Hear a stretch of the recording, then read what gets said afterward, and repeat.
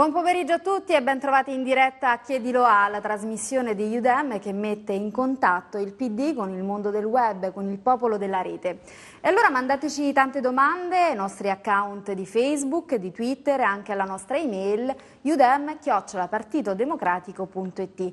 Tantissime domande, cercheremo di rispondere davvero a tutti perché l'ospite di oggi è Gianni Cooperlo, candidato alla segreteria nazionale del Partito Democratico. Buon pomeriggio e grazie di aver accettato il nostro invito. Ma grazie a voi. Allora, iniziamo subito. La prima domanda arriva da Brusca che le scrive su Twitter. Come intende rinnamorare la gente del nostro PD? E poi eh, le chiedono qual è il primo atto pubblico da segretario? Ma il primo atto pubblico da segretario non ci ho pensato, ma se dovessi rispondere adesso, perché mi fate questa domanda, direi lanciare una grande campagna di mobilitazione contro la povertà minorile del nostro Paese nel nostro paese. Noi abbiamo una maglia nera, siamo il paese d'Europa, credo di aver letto una statistica in questo senso, me ne ha parlato Livia Turco qualche tempo fa, con la più alta incidenza e percentuale di povertà minorile, un minore su quattro oggi in Italia. L'Italia è un grande paese dove c'è anche ricchezza, benessere, siamo la seconda potenza industriale dell'Europa, eppure un minore su quattro vive una condizione di difficoltà dal punto di vista delle risorse materiali e culturali a sua disposizione. Ne farei una grande battaglia di progresso e di civiltà. E sarebbe anche quello il modo, secondo me, uno dei tanti modi per, come diceva il nostro amico, restituire la passione e la speranza al popolo democratico, perché noi abbiamo un popolo straordinario che in questi mesi ha sofferto delle delusioni anche profonde, anche brucianti, in particolare il 25 di febbraio, quando le aspettative erano quelle di un successo, forse non eh, facile, ma certo di un successo che non è venuto. E poi i giorni drammatici sull'elezione del capo dello Stato, le dimissioni di Bersani, di un intero gruppo dirigente, un trauma per una forza politica, e poi ancora la nascita di un governo che forse ne parleremo, sosteniamo in modo leale, anche incalzandolo, ma non era il governo che avevamo immaginato. Eppure questo popolo democratico eh, non si è smarrito, non ha perduto la rotta, il sentiero, te lo ritrovi sempre lì davanti, esigente, incalzante, critico, a volte aggressivo nella critica, però io preferisco questo popolo aggressivo e critico all'ipotesi di un abbandono silenzioso e invece il congresso è la conferma che questo popolo c'è e dobbiamo avere fiducia in lui. Allora, continuiamo a parlare di congresso, sempre su Twitter, sempre sul partito. Fiorenza Tarenzi domanda che senso ha fare la tessera PD quando chiunque può votare il nostro segretario? E poi sullo stesso argomento Alessia Telese, hai intenzione di aumentare il peso decisionale degli iscritti se diventerà il segretario del PD e se sì come? Eh, sono due questioni molto serie, cominciamo dalla prima. Noi siamo l'unico partito, credo, non solo in Italia, in Europa, ma forse in Occidente, che elegge il suo segretario con un voto aperto a tutti gli elettori.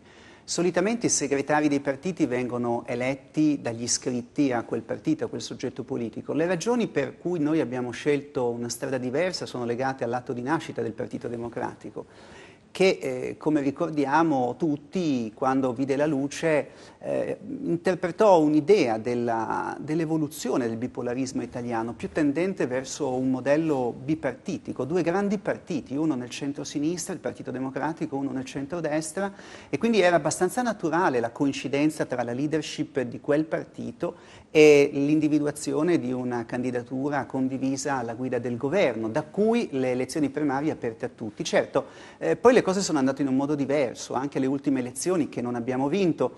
Noi non ci siamo presentati da soli, l'autosufficienza non ha pagato perché noi non siamo autosufficienti, non bastiamo a noi stessi, molto di buono c'è fuori da noi e quindi abbiamo dato vita ad una coalizione. Le stesse primarie che hanno incoronato Bersani contro Renzi un anno fa erano primarie di coalizione di tutto il centro-sinistra. Forse si potrà tornare a ragionare su questo, sulla possibilità di avere delle regole diverse. Io mi sono posta a cambiare le regole in questo congresso perché non c'era l'accordo di tutti i candidati, a partire dal sindaco di Firenze, a fare questa modifica e credo sia giusto rispettare da questo punto di vista l'impostazione che ci siamo dati, però penso che all'indomani di questo congresso, chiunque vinca, fare una discussione molto seria su cosa intendiamo per un partito politico e per i diritti degli iscritti sia una questione molto molto giusta e molto urgente e, e così arriviamo alla seconda domanda che è legata a come restituire un ruolo e un valore agli iscritti. Eh, io ho letto, credo ieri mattina, una intervista del sindaco di Bari eh, che diceva adesso, anche alla luce delle polemiche sul tesseramento gonfiato, facciamo una cosa un po', un po brusca, ma com'è nello stile e nel carattere dell'uomo, lo dico con simpatia, aboliamo gli iscritti. E, e anche qualche altro esponente del nostro partito ha detto ma di fronte alla situazione che si è determinata, la cosa che conta è il voto dell'8 di dicembre, no? le primarie aperte a tutti. Allora cosa stiamo a fare? Un passaggio ulteriore nelle sezioni, nei circoli con il voto degli iscritti? Andiamo direttamente all'8 dicembre e mettiamo la decisione nelle mani degli elettori? No, io rispondo veramente con, con passione, non so se riesco ad essere creduto, di no, non è questa la via, perché un partito senza iscritti è come una democrazia senza elezioni, non è data, non esiste in natura.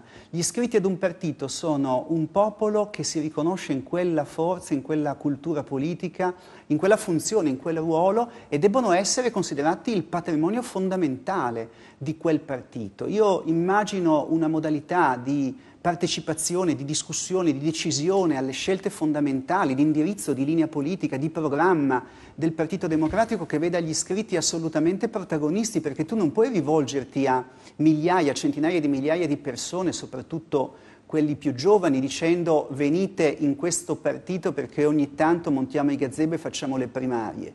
Devi montare i gazebo, devi fare le primarie, ma devi dirgli venite in questo partito perché è lo strumento che noi mettiamo a vostra disposizione per riscoprire quella capacità formidabile che ha la politica di organizzare in modo collettivo gli interessi e l'emancipazione di una parte di pezzi della società. E in questo senso l'idea di dire, deprimere, di continuare a colpire, dopo gli anni che abbiamo alle spalle, i corpi intermedi della società, che sono i partiti, le aggregazioni politiche, ma anche le forze sociali, è, è una scelta, è un'idea che a mio modo di vedere eh, tende inevitabilmente verso una cultura che favorisce la destra, perché è la destra, non parlo adesso della destra italiana, dello specifico del nostro caso, ma è la cultura della destra, della grande destra che ha sempre teorizzato un rapporto individuale e solitario tra la persona, il cittadino e il potere.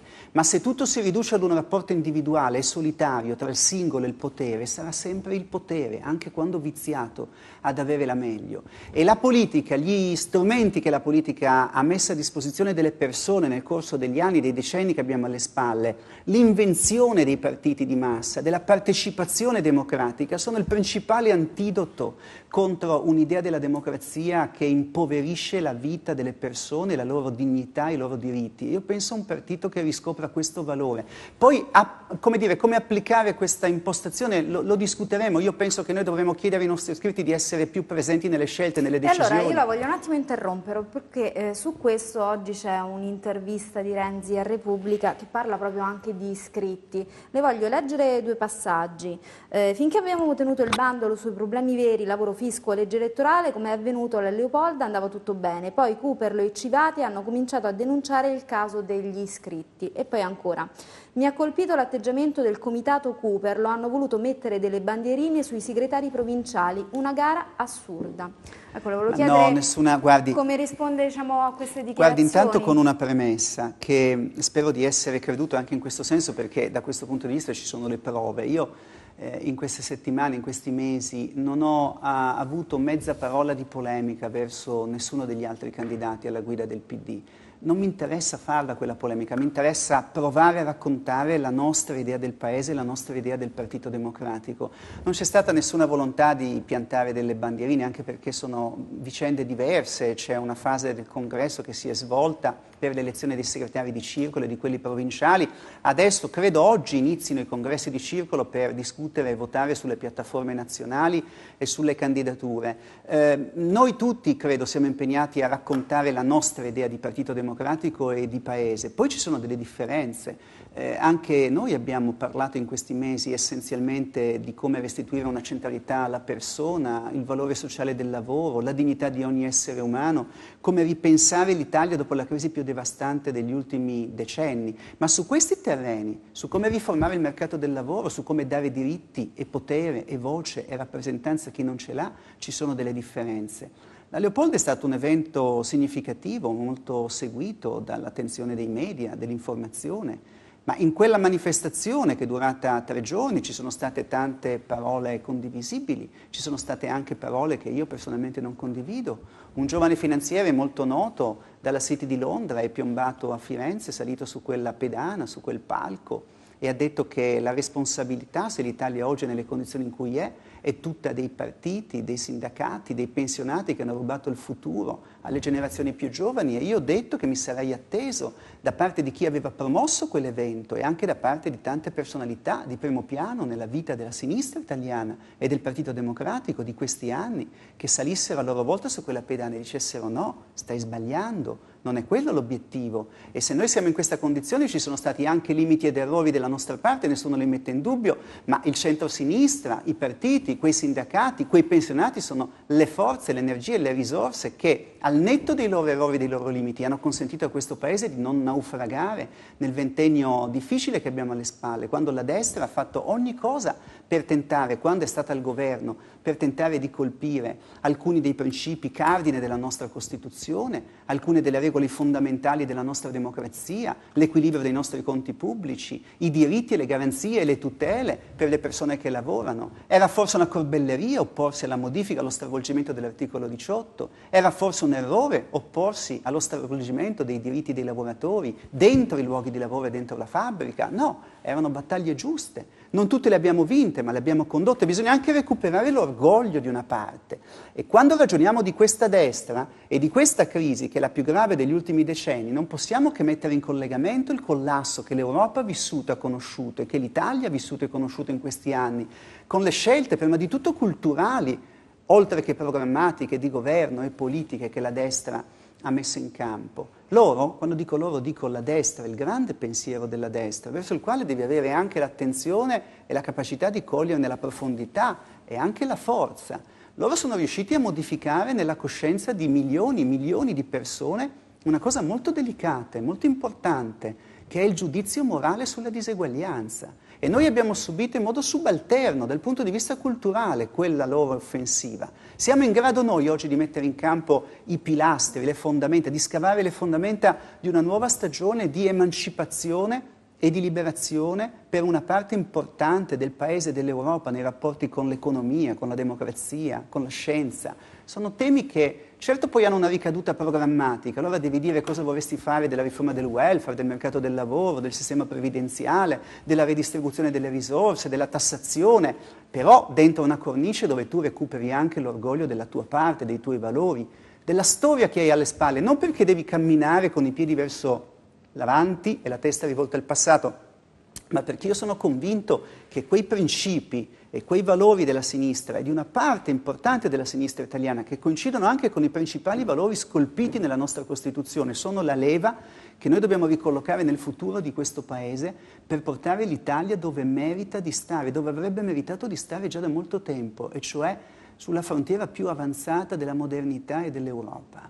E su questo naturalmente c'è un passaggio fondamentale che è anche quello della rappresentazione, del racconto di quello che la politica fa. E allora, ancora sulle primarie e su come queste vengono raccontate, eh, Fabio Bussotti vuole sapere se non si sente danneggiato dall'avere con sé quella che definisce la vecchia guardia e mette eh, tra parentesi i nomi di D'Alema, Bersani, Marini. E poi su Facebook Adele Vignola chiede perché Gianni Cooper lo è visto come la conservazione mentre gli altri sarebbero il rinnovamento? Forse la prima domanda è la risposta alla seconda, la seconda è la risposta alla prima.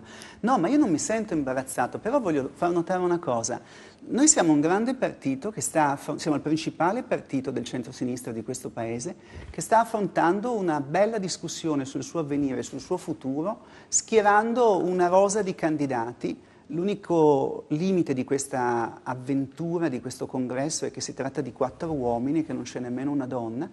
Eh, ma non lo dico per, così, per una, un aspetto, una battuta formale, perché sono davvero convinto che sia un limite di cui dobbiamo farci carico, ma eh, quattro candidati che tutto sommato, seppure con età e profili diversi, eh, appartengono ad una nuova generazione, comunque ad una nuova stagione. Eh, questo è un fatto molto importante, molto positivo. Eh, io l'anno scorso ehm, ebbi modo di dirlo mm, in un'attenzione molto meno diciamo, rigorosa di quanto non mi possa capitare adesso, ma non, non ho mai condiviso quello slogan sul quale il sindaco di Firenze ha costruito una parte importante della sua eh, comunicazione durante le primarie eh, contro eh, Bersani, l'idea di una rottamazione eh, ho sempre trovato abbastanza odioso il termine se applicato alle persone, ma non mi convinceva l'ispirazione. Io sono convinto che abbiamo bisogno di un profondo rinnovamento, non solo nella leadership, che è una parola che non mi spaventa, ma che non trasformerei mai in un totem. Abbiamo, abbiamo, bisogno di un rinnovamento profondo, non solo nella leadership, ma nella, nella, selezione dei nostri gruppi dirigenti, della nostra classe dirigente, ma penso anche che lo dobbiamo fare con una capacità di eh, relazione con quella che sono, dire, il passato di questo, di questo partito e, e coloro che hanno consentito di arrivare fino qui anche con degli errori, anche compiendo, eh, dei, vivendo dei limiti e assumendosi dei rischi, però eh, è importante che eh, in un passaggio di testimone tra generazioni diverse e stagioni diverse vi sia questa forma di rispetto. Le persone che sono citate, in particolare D'Alema e Marini, oggi non siedono nel Parlamento. Eh, Bersani ha guidato il Partito Democratico per quattro anni ed è una persona mm, che si è fatta carico anche oltre le sue effettive responsabilità del peso di quella sconfitta. Eh, credo che noi dobbiamo ricostruire anche il clima, il senso di una di una comunità. Eh, c'è un vecchio, credo antico, non vecchio, proverbio orientale che dice eh, quando vai a prendere l'acqua al pozzo ricordati sempre di chi lo ha scavato. E in fondo in quella saggezza c'è qualcosa di profondamente vero che riguarda anche la politica e che riguarda anche la sinistra.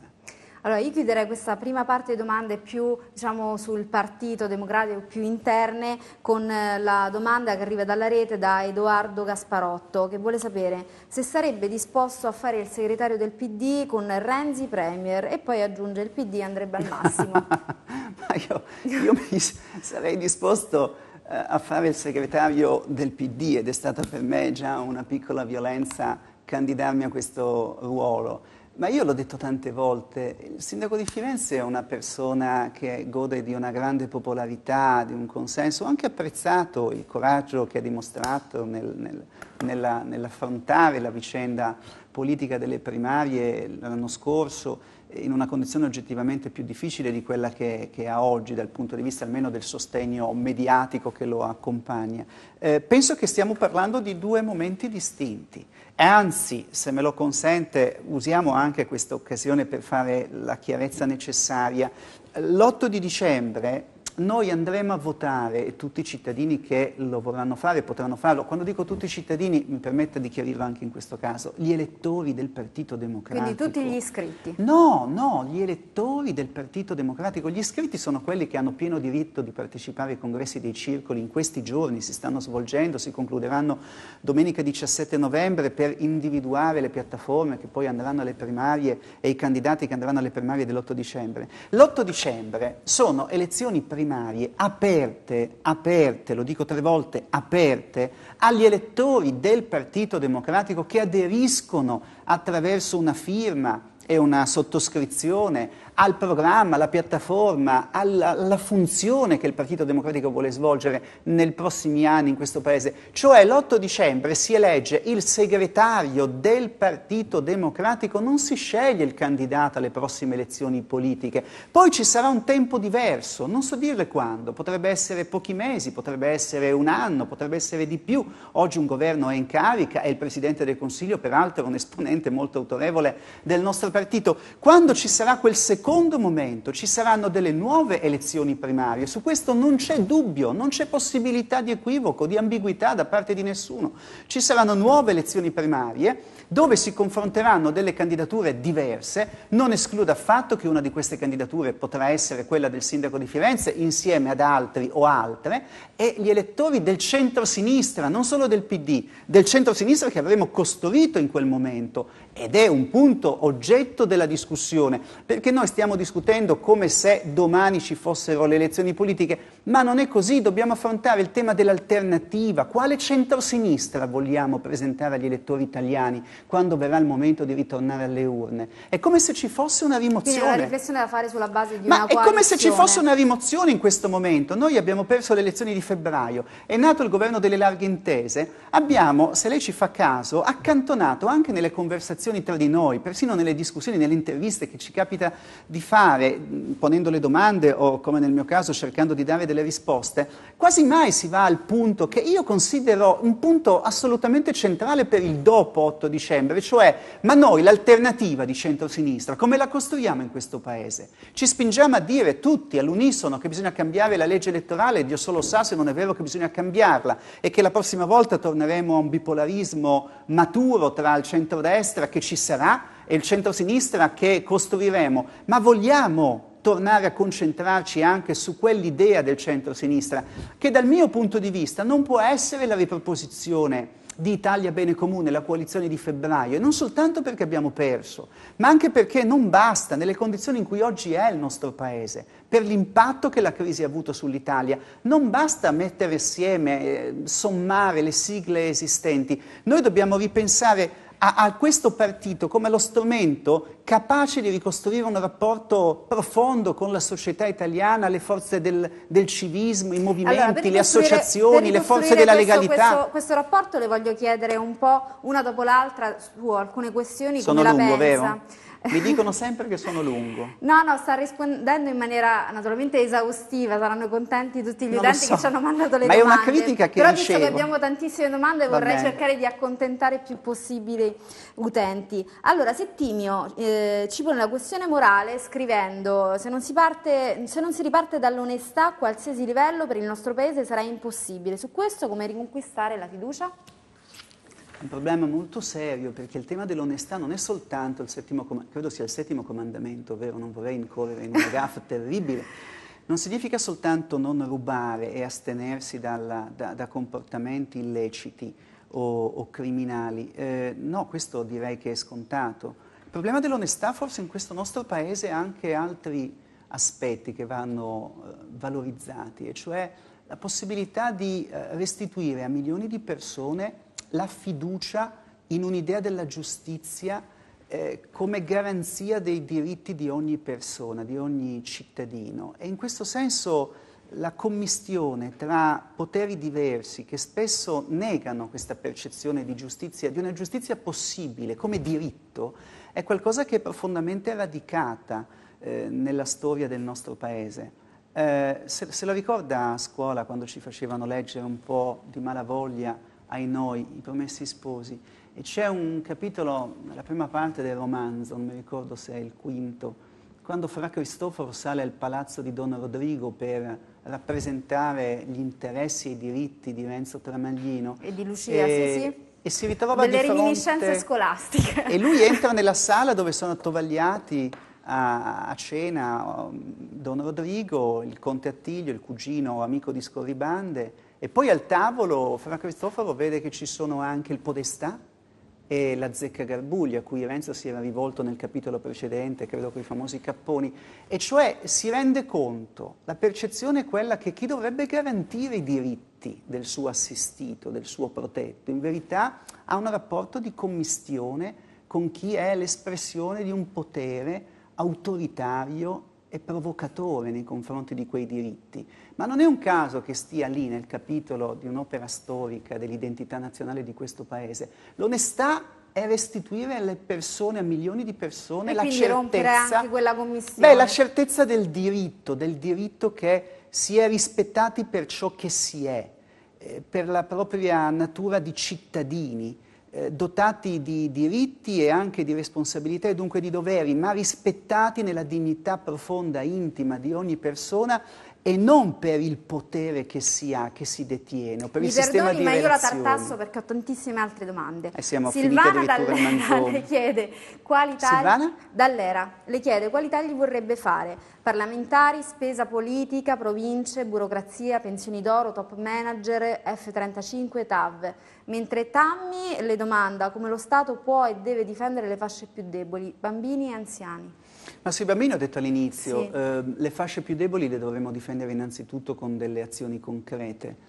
La legge di stabilità che è approdata in Parlamento, al Senato, è una legge che contiene dei tentativi nella direzione giusta, è una legge che per la prima volta dopo diversi anni non prende ma cerca di restituire qualcosa. Però a proposito di questa seconda domanda è chiaramente troppo poco. Prenda il fondo per la non autosufficienza. Eh, io non, non- sono più riuscito a, a togliermi dalla, dalla- dalla testa, diciamo, dal pensiero, no? l'immagine di questo medico che qualche settimana fa ha, ha manifestato con persone colpite come lui da una grave patologia davanti al Ministero. Sì, ed è Eh, deceduto il e, giorno successivo. e- e allora vai a capire, a cercare di vedere no, nel dettaglio di che cosa stiamo parlando. Stiamo parlando del Fondo per la non autosufficienza che ha postato in bilancio nella legge di stabilità per il 2014 280 milioni di euro. E certo eh, è la battuta del bicchiere mezzo pieno, mezzo vuoto. Rispetto alla destra che aveva sostanzialmente azzerato quel fondo, noi abbiamo rimesso 280 milioni di euro. Ma soltanto la regione Emilia-Romagna, per la stessa voce di bilancio, stanzia a regime, a sistema, cioè non rinnovandolo anno dopo anno, ma garantendo che quella cifra è tutelata, 450 milioni di euro. Quasi il doppio, c'è qualcosa che non funziona. Bisogna, e vengo alla prima domanda, andare a colpire quelle che sono e ancora esistono, e sono molte, sacche di privilegio, di rendite. Vuole fare qualche esempio? Beh, l'esempio che veniva fatto sulle pensioni d'oro, eh, ci hanno detto quando in agosto il Sole 24 Ore ha pubblicato quella pagina di assegni previdenziali erogati dall'Inps sulla base del vecchio sistema retributivo, assegni da 40 a 45 mila, uno se lo ricorda, 91 mila euro mensili, ci hanno detto ma non fate della propaganda, sono sì e no 680, 700 assegni che hanno quell'entità.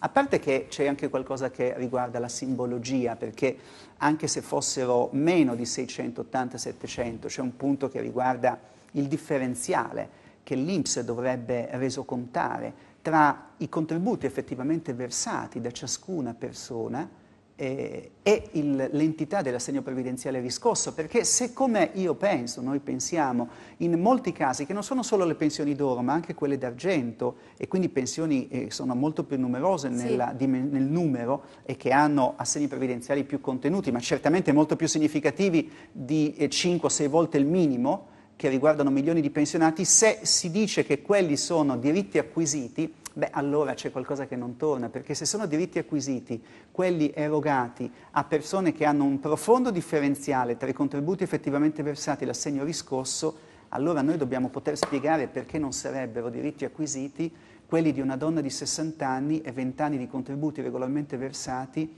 che attendeva sino all'anno scorso di andare in pensione, una pensione che tecnicamente si chiama di vecchiaia, un assegno credo lordo di 680 euro eh, mensili e di colpo il governo le comunica che deve aspettare 5-6 anni prima di riscuotere quell'assegno. Perché quelli non sarebbero eh, diritti acquisiti? Allora noi dobbiamo, in termini davvero di redistribuzione e di equità, e mi lasci dire di giustizia, ricostruire un principio di certezza eh, del diritto e della qualità della vita per tante persone. Se ragioniamo di previdenza, questo ci deve portare a reintrodurre un principio di gradualità nell'uscita. Noi abbiamo una proposta da 62 a 70 anni con un tasso di penalizzazione massimo dell'8%, oppure dobbiamo su un altro versante cercare di garantire la continuità dei contributi figurativi da un mestiere all'altro per i giovani e le ragazze, e parlo della sua generazione, quelli più giovani di lei, che oggi si ritrovano in una condizione dove può darsi che sia vero, anzi è vero, che abbiamo con le riforme fatte messo in sicurezza il sistema previdenziale.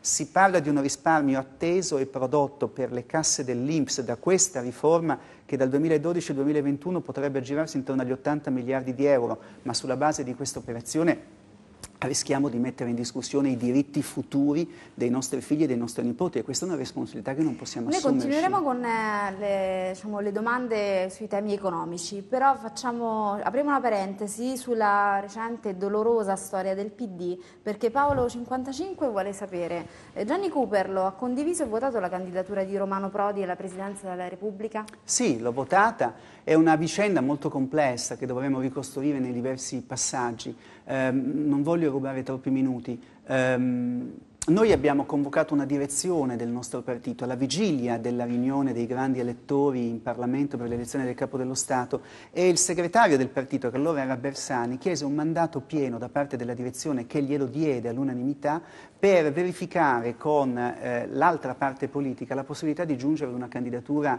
ragionevolmente condivisa ma espressione del nostro campo del centro-sinistra.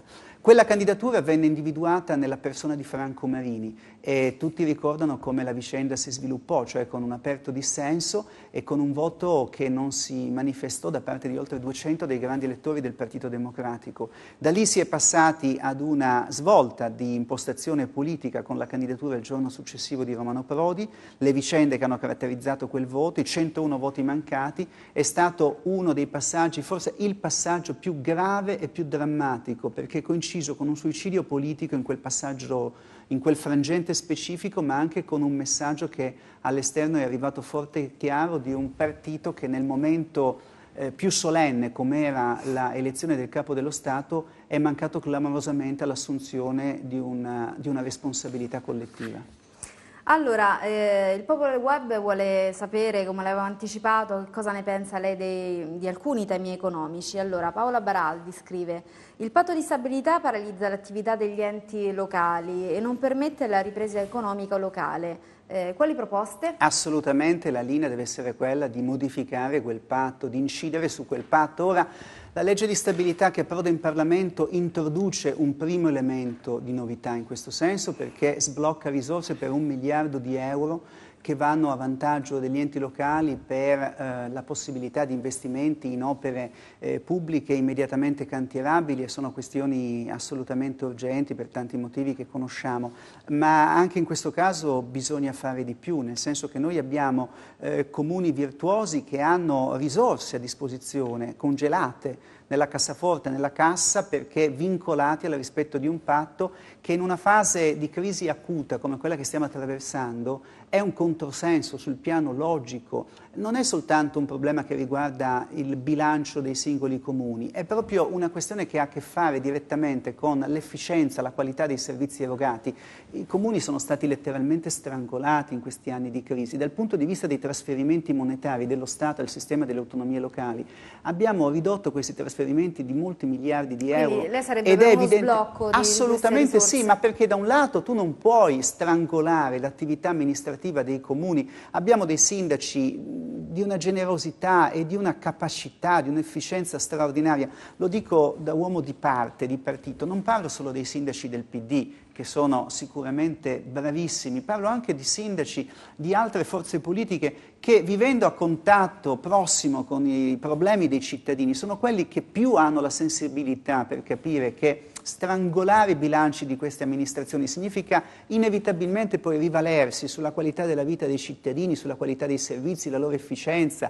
Verrebbe da fare una riflessione sulla percentuale di asili nido in rapporto ad altri paesi europei, ma eh, tutto questo ha a che fare con che cosa? Con le risorse a disposizione, liberiamole queste risorse, interveniamo dove ci sono stati sprechi, abusi, inefficienze, però liberiamo queste risorse e mettiamo gli amministratori locali, che sono un patrimonio inestimabile di buona politica, in gran parte un patrimonio inestimabile di buona politica, mettiamoli nella condizione di fare il loro mestiere.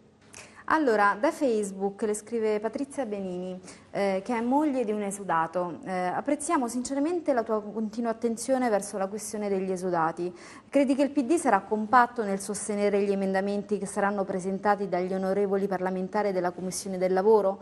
Perché i discorsi di sostegno danno speranza, ma in Parlamento ci vogliono i fatti. Sì, sosterremo compattamente gli emendamenti che vanno nella direzione di allargare la platea dei cosiddetti salvaguardati. Finora ci sono stati tre decreti su questo punto. Il primo ha salvaguardato 65.000 lavoratori esodati, il secondo 55.000, il terzo poco più di 10.000.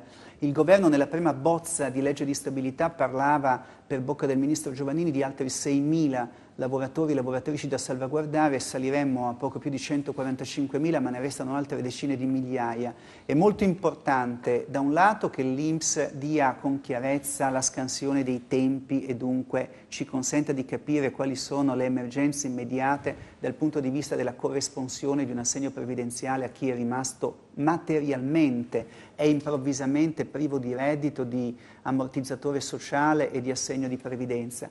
Ma dall'altra parte c'è una questione della ragione per la quale io mi sono permesso in queste settimane e mesi di insistere ogni volta che ho potuto su questo tema, Dall'altro c'è un problema che riguarda la dignità di queste persone. Io l'ho detto tante volte perché mi è capitato molto spesso di incontrare questi lavoratori a margine delle nostre assemblee, degli incontri. Andando a Genova alla festa nazionale del PD a settembre ho fatto il viaggio da Roma a Genova a fianco a uno di questi lavoratori e mi ha spiegato la cosa esattamente in questi termini. Mi ha detto, vede, forse voi non avete compreso fino in fondo la condizione che vive ciascuno di noi, perché non è solo il problema che a fine mese in molti casi non abbiamo la certezza di un reddito, che è poi l'elemento che sostiene l'economia della famiglia, la vita delle persone, ma c'è un problema di dignità. E questo rapporto tra il valore sociale del lavoro, il riconoscimento della persona che lavora, il diritto al lavoro come diritto alla dignità, è un aspetto assolutamente decisivo, determinante, non solo in relazione alla vicenda degli esodati, è un aspetto molto negativo di quella riforma, ma in generale rispetto ad un vuoto che noi abbiamo lasciato eh, evolvere, maturare nel corso di questi anni. Ci siamo occupati troppo poco di questo aspetto, mentre quando parliamo ah, del diritto al lavoro anche delle generazioni più giovani, il capitolo della dignità è assolutamente decisivo per fare di quella battaglia una grande battaglia collettiva. E d'altra parte questo l'hanno capito anche le figure più autorevoli, eh, di una disciplina morale e di una testimonianza elevata e alla quale guardare con tutto il rispetto dovuto. Un mese fa, un mese e mezzo fa, quando Papa Francesco è andato a Cagliari, che è una terra molto colpita dalla crisi, di fronte a decine di migliaia di persone che assistevano alla messa, ad un certo punto ha abbandonato il testo, l'omelia scritta e ha eh, non so se improvvisato, ma comunque non è molto importante se l'abbia improvvisata lì per lì o se fosse una scelta pensata, però ha recitato una preghiera, un'invocazione al Signore che non era semplicemente di far eh, cadere la benedizione su quelle persone rimaste senza un lavoro, ma eh, la preghiera diceva Signore aiutaci a lottare per il lavoro e in questo c'è anche l'elemento che noi dovremmo recuperare fino in fondo e fare nostro della capacità di organizzare, di organizzare le forze, il conflitto, il conflitto lo dico io naturalmente che sono un uomo politico, eh, ma il conflitto per la, l'affermazione dei diritti non è una parola impropria nel, nel lessico della politica e soprattutto della sinistra.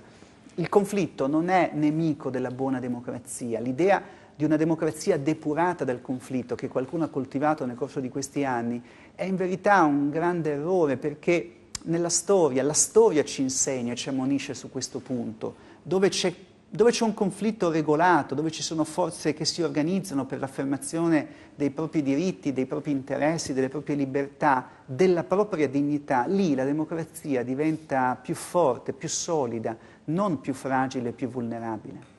Allora le faccio l'ultima domanda, siamo in chiusura, sull'Europa. Amedeo Medei le chiede di pronunciarsi chiaramente sul PSA in Europa. Intanto c'è una bellissima notizia che Amedeo forse ha letto, e cioè che ieri il PSE ha formalmente chiesto al Partito Democratico di poter ospitare a Roma dal 28 febbraio, credo, ai primi giorni di marzo, la, il congresso del Partito del Socialismo Europeo.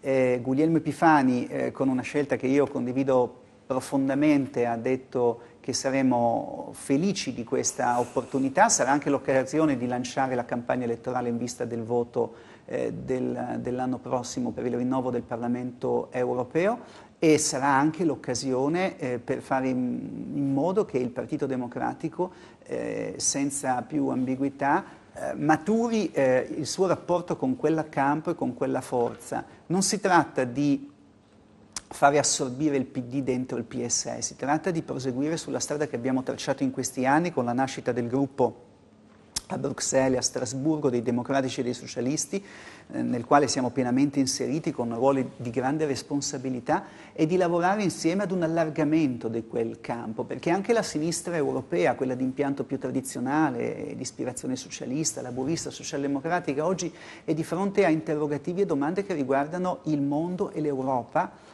e per noi diciamo l'Italia dopo la crisi e dopo la destra dopo questa crisi e dopo la cultura di questa destra. Allora io penso ad un allargamento di quel campo e alla possibilità di dar vita ad una vera e grande forza unitaria, ad un grande partito dei democratici e dei progressisti, dei socialisti, dei progressisti europei, dentro il quale il Partito Democratico Italiano svolga quella funzione fondamentale che ha già iniziato a svolgere e che sempre di più siamo destinati ad assolvere nei prossimi anni.